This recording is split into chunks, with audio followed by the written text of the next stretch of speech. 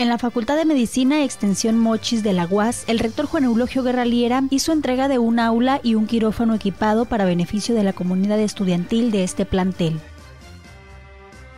Esta obra física tiene una inversión total de 2.042.150 pesos, de los cuales 1.499.710 corresponden a infraestructura y 543.439 pesos fueron destinados al equipamiento del quirófano. Esto va a beneficiar a 549 estudiantes, precisó el rector.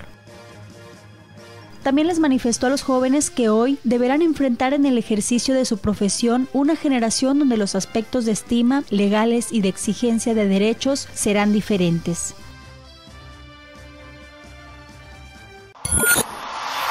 En el desarrollo infantil es normal un poco de mal comportamiento, pero es necesario que tanto padres como maestros o cuidadores presten atención en las diferentes conductas inapropiadas en la idea de aplicar correctivos a tiempo y no repercutan a futuro en la formación de los pequeños. La especialista en psicopedagogía indicó que hoy en día cada vez se ven más problemas de comportamiento infantil debido a que en los hogares existe ausencia ya que padre y madre están trabajando y los pequeños son cuidados por terceras personas, hecho que les genera falta de autoridad.